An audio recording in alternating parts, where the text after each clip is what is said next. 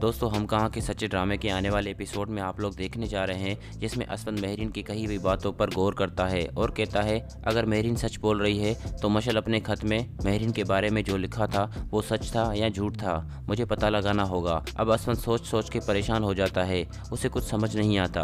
वहीं सालिया आंटी आती है और कहती है, बेटा, तुम परेशान ना हो, सच सबके सामने आ जाएगा।